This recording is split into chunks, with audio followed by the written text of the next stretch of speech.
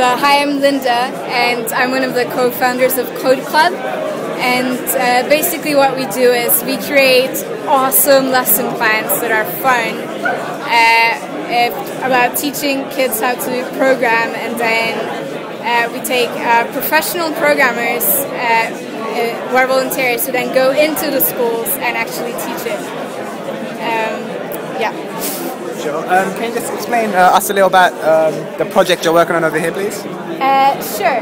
Uh, so, our first uh, introduction to Scratch, um, our first term is basically using Scratch. Uh, we have um, uh, like lesson plans that teach kids how to make games.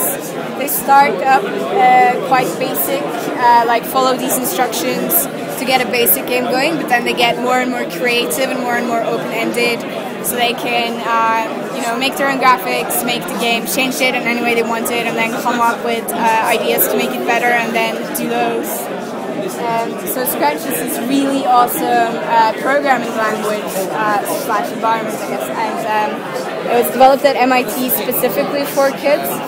So you don't have to type anything; it's uh, drag and drop and um, you're still learning all the important bits like uh, variables and uh, loops and you know if statements. Um, so it's still proper programming, but it just takes the syntax issue out of it.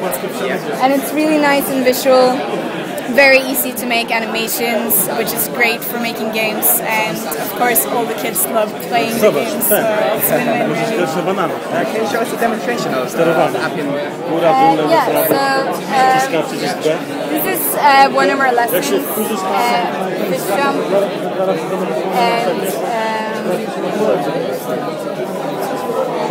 uh, it's basically just a fish that you control with the mouse, and it has a score. So they uh, learn how to uh, do a score, and you're just trying to eat all the fish. Okay. Um, so yeah, that's basically it.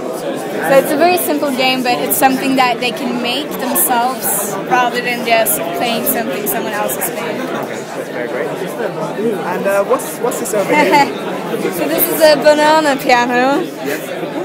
Uh, and um, so this is a Makey Makey, which is basically a simplified Arduino, uh, which is hooked up to the uh, bananas. Uh, it's getting power from the laptop, so uh, this is the ground, and when I tap the banana, I uh, complete the circuit. Okay. Uh, and then uh, the circuit break um, uh, tells um.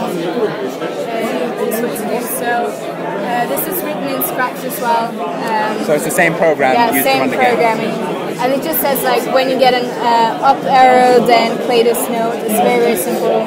Yeah. so yeah. So in a sense, this is making the web physical because um, you know you're hooking everyday items to a computer. Yeah, it's just uh, basically replacing a keyboard with anything that conducts electricity, and it makes it more fun to play the games that they make. So. Again, uh, thank you very much uh, for your time. For a website.